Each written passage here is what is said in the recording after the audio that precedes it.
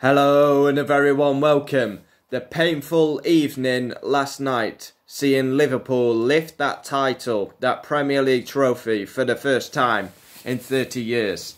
It was very painful. But again, it comes down to one man it, why they have that league title. Not the players, not the team. It comes down to one man, Jurgen Klopp. Now, he should be getting a statue outside Anfield for me. He is the one that's ended 30 years of pain.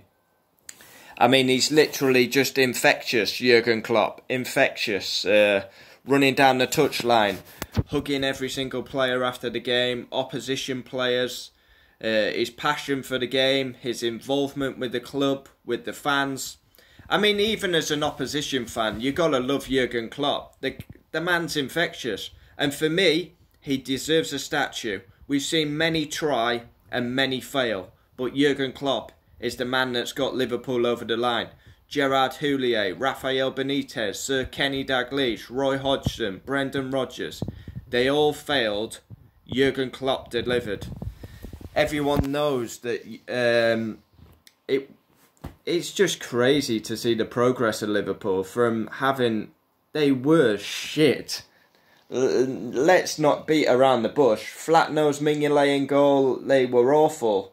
They had like Sakho at the back, Moreno, and now look at them. Premier League champions, Champions League, World Cup, well, FIFA World Cup but yeah, for me, Jurgen Klopp deserves a statue. He's the one that's ended Liverpool's drought, and for me, like he is a top class manager. Um, and even as an opposition fan, you can't hate Jurgen Klopp. He he's like one of these managers. He's like Simeone. He's infectious. His love for the game, the passion.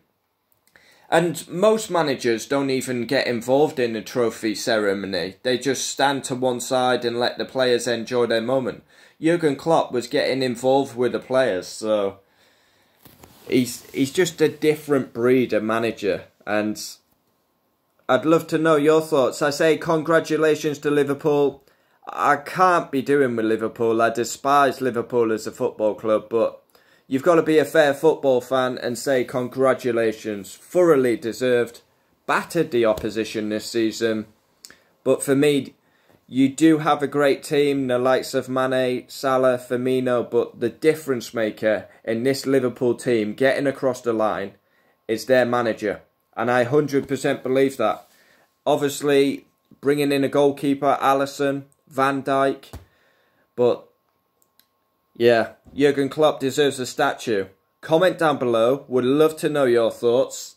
And yeah, that is my opinion. Jurgen Klopp deserves a statue for what he's done at Liverpool Football Club, ending their 30 year drought.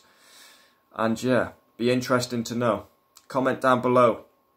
That's my opinion as a United fan. Klopp statue.